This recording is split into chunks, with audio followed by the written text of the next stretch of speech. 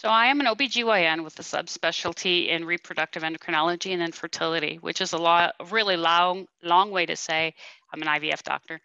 Uh, and I've been doing this for a lot of years. I uh, am also now working in Organon, and I am the clinical lead for women's health. And what that means is that I'm helping to develop the drugs that are going to be used in in the treatment of women for infertility and uh, some pregnancy outcomes. So I'm very excited about being here.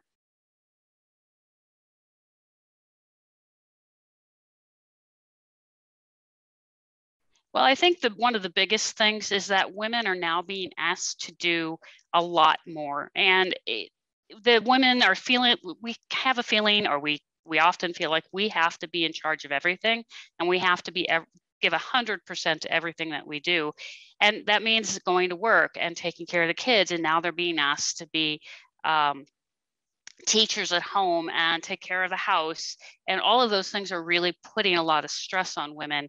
And i and, and, more so than men. I think that is one of the things that we have discovered is that those those negative impacts are much more pronounced in women. And, and we're seeing a lot of women who are just having very, very significant stress and health issues from that.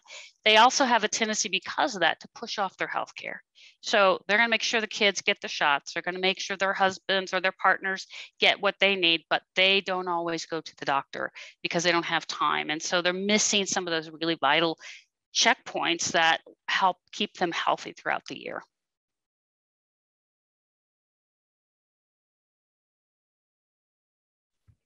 I think the main thing that healthcare providers can do is to eh, give those reminders and give the woman permission to take care of herself. Sometimes that's all that's needed. You know, you're as important as your partner, you're as important as your kids. If you're not healthy, your children or your partner or your household's not going to be healthy. It's a little bit like the airplane analogy of put your mask on first. Somebody told me this yesterday. I love that.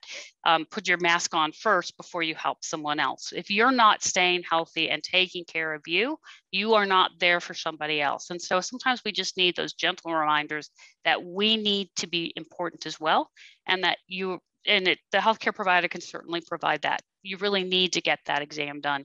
You really need that yearly mammogram. You really need that pap smear because we want you to stay healthy. And that's what this is about.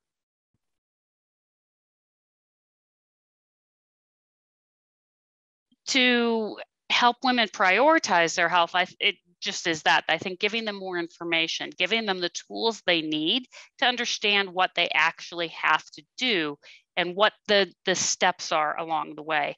If you're not going to the provider, then you're not going to know that. But if your provider is able to give you a link or a website and say, here's a very good explanation of what you need to do and when. I, I found this out yesterday and I was very excited. There our website, her here for her health, has a really useful tool that allows women to go through on a decade by decade basis of what is so important when it needs to be done. So your yearly mammogram, when you, do you get your pap smears done? When do you get your colonoscopy done? Why do you, what do you do like checking for osteoporosis? It gives those checklists and it's not just about female organs. It's about your entire health, your digestion. It's a really, really useful tool. But I think if we can give that to the patients and give them access to those kinds of tools so that they can use them, I think that's one way we can help women stay on track so they know what to expect and when to go to the doctor and get things done.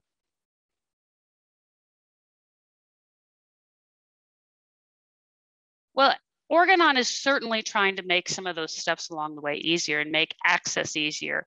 One of the things that Organon is doing for Organon and Organon employees is in, in recognition of International Women's Health Day, they're giving everyone in the company a day off, which I found out yesterday as well. I was very excited about because I didn't don't think I read that email, but I'm very excited. We all get the 8th of, of March off. And to allow us to take care of us and to spend time on us as opposed to concentrating on everyone else. So for some of some women, this may be the first time that they're off when their family's not around. Um, it allows them to spend time maybe going to the spa or getting some of those those other tasks or things that they don't have time to do when their family's around. So I'm very excited. And I think that's a, a big step for Organon.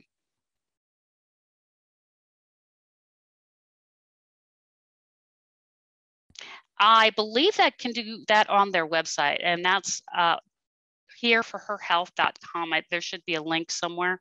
Um, but it, on that website, there should be some information about what we are doing for International Women's Day and how we're honoring women in both in the workplace and at home. But not that home is not a workplace, but um, because that certainly is a full-time job. Uh, but it allows people to see what we're doing and how we're, we're trying to move women's health into the forefront and providing solutions for women as opposed to just questions. No, I'm just very excited to, that we, I'm working for this company that is truly making, trying to make an impact in women's health and to improve the health of women across the world and not just those in the United States, but across the world and having a positive impact on moving women's health forward.